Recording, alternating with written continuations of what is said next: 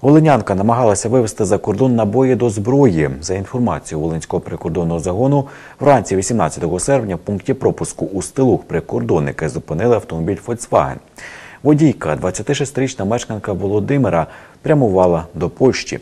Під час проходження прикордонного контролю службовий собака, так би мовити, зацікавився її автівкою. Як результат, у багажному відділенні прикордонний наряд виявив 120 набоїв до мисливської гладкоствольної зброї, прихованої під запасним колесом. Набої встановленим порядком у громадянки вилучили.